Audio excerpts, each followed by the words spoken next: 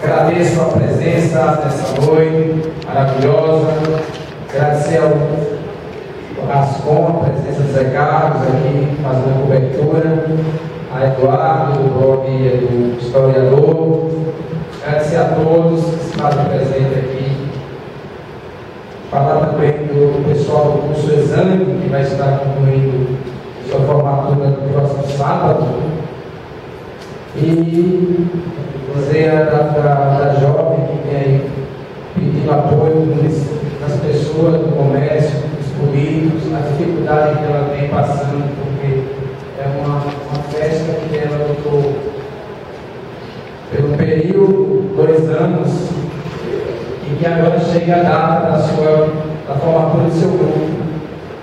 Então, pedir aos novos vereadores que puderem ainda ajudar, em tempo, retorno Deus dá, dará a todos nós.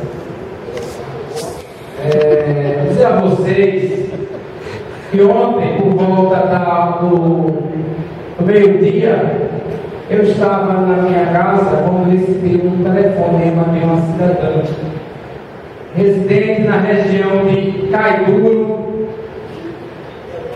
volta de cima, naquela região ali. Ela me pedia, vereador, vem aqui na região onde eu resido, para, para o senhor ver com seus olhos que a terra há de comer.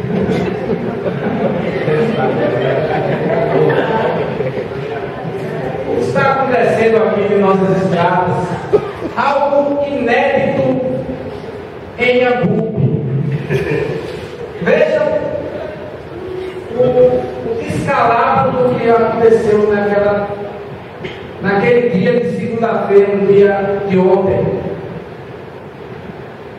Eu me dirigi para aquela região, carregando minha máquina de, de, de fotografia, minha câmera de fotografia, e registrei tratores da fazenda Itacípios, juntamente com duas máquinas patrol da de, da prefeitura de Sátiro Dias, fazendo as estradas pertencentes ao município de Hamburgo. Vejam a preocupação da prefeitura de Sátiro Dias invadir o nosso município para fazer uma obrigação que não é deles.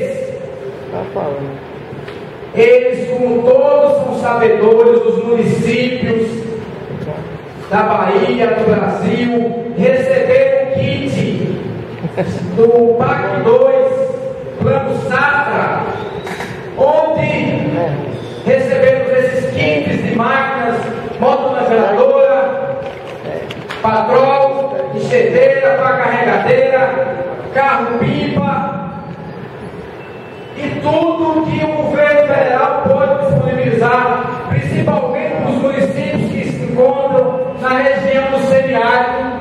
E nós temos todos esses equipamentos na garagem da Prefeitura de Ambupe guardados. Nós temos 1.243 mil metros quadrados de, de, extensão. Desculpe. Em que a maioria das nossas estradas vicinais estão todas destruídas, acabadas. Eu tenho ido aos povoados, a região aqui de Camangu, Tapera, Rocinha, as estradas estão destruídas, a região de Araçatuba não seria diferente. Mas por que o cuidado do prefeito de Sátiro Dias com a estrada que liga a fazenda Itacitos? Que somos sabedores, já falei aqui na semana passada, que é uma empresa que gera aproximadamente 500 empregos da cidade de Iambupe e também dos, da cidade de Sátiro Dias. Fica ali na divisa do dos dois municípios. E Pedrito mandou essa entrada da BB. Eu tirei fotos, estão no meu Facebook, porque hoje nosso meio, nosso meio de informação é através da internet, das nossas discursos aqui na casa. E vocês vejam, doutor Miguel, quando o senhor falou aqui, que talvez o prefeito não saiba do que está acontecendo. Então ele deve estar morando na Bélgica. Porque é impossível uma pessoa dessa não saber toda a atrocidade que o nosso município vem passando com a administração catastrófica desse prefeito que, todo, que a maioria da população escolheu. Acreditávamos que não fosse. E esse desastre que se instalou no município de Hamburgo é inadmissível a forma que esse povo hoje é sabedor nas ruas da cidade que existe dentro da prefeitura quedas de braços para ver quem governa mais o setor. Tem um grupo que governa uma parte, tem um outro que governa outra parte, e quem não governa nada é o prefeito. Então, meu, meus nhambubenses, eu lamento o ocorrido, que já era para ter uma, uma política de secretaria, da Secretaria de Infraestrutura, que foi agora presenteada com uma, uma grande estrutura as, no início da, do, do novo Iambupe, uma nova uma estrutura muito capaz para que a Secretaria desenvolva um bom trabalho voltado para o município de Iambupe. É visível as ruas de Iambupe, a cada dia se fecha uma rua passa 15 um mês fechada por conta da, da ineficiência das pessoas que estão à frente da pastas, das referidas secretarias. Felizmente, é, tivemos uma notícia que vão calçar agora quatro ruas no município de Ambu, um valor pequeno, mas que já surte um efeito. Mas vocês deveria se buscar mais investimento, até com dinheiro do FPI do município, para concluir aquela, aquele calçamento da travessa da França, principalmente aquela rua que liga a, a URBS. Mas que sabemos, somos sabedores, que isso não irá acontecer, porque o município não tem dinheiro. Nosso, a maior, todo o dinheiro do serviço. Centro de lixo, é um absurdo, como eu já falo aqui sempre. 280 mil é o lixo do nosso município. Transporte escolar é outra fortuna.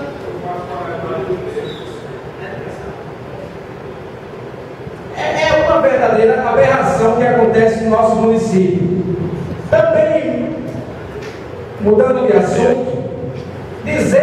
pessoas que são sabedores do que é a política, que nós estamos em um momento de eleição, onde a sociedade vai escolher os nossos futuros representantes na Câmara Estadual, na Câmara Federal, no Senado, o próximo presidente da República, é, que temos recebido denúncias que a nossa querida primeira-dama do município dizendo ao povo que quem não votar no candidato do PT, nos candidatos do PT, irão perder o benefício Bolsa Família.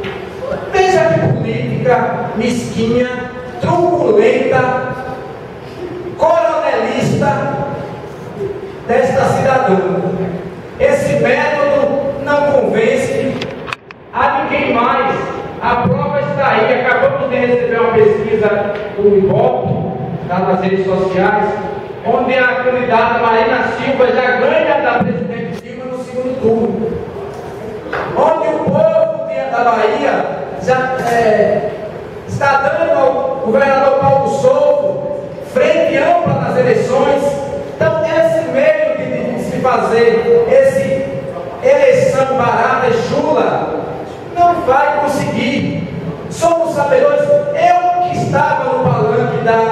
Desta administração que aí encontras, eu ouvi muitas das vezes essa primeira dama, nossa primeira dama do município, falar que iria trazer para o município de Hamburgo, Rede Cegonha, Brasil Carinhoso. Está gravado, tenho certeza que nós temos isso em documentos. E cadê os programas que ela ia trazer para o nosso município de Hamburgo? Então, é desta forma que nós vamos fazer. Nós vivemos hoje em uma sociedade onde todo mundo é informado. Hoje todo mundo tem celular, a internet é uma realidade do mundo globalizado e que não vai ser um ato, talvez analfabeto, que vai convencer a população menos esclarecida e menos carente. Somos sabedores também que a, a maior parte do, da, do Nordeste são as regiões onde esse partido que promoveu várias situações que a gente nunca viu antes, esse governo que aí governa o nosso país, é, como já diz o Miguel, é dinheiro na cueca, é roubo da Petrobras, é, é desvio do dinheiro público que seria comprado para remédios para os, para os hospitais, para os municípios, agora é um novo escândalo que tem aí. É tanto escândalo que se instaurou nesse país que eu acredito que o Brasil, até o Nordeste, irá dar uma resposta a tudo isso que, estão, que a gente observa. Quem está dizendo são as na televisão, as revistas de circulações nacionais, a Polícia Federal, que a polícia tem desmanchado muitas quadrilhas do dinheiro público e que isso irá resultar em uma mudança que esse país precisa. Vamos alternar o poder. Eu defendo que a política seja cinco anos de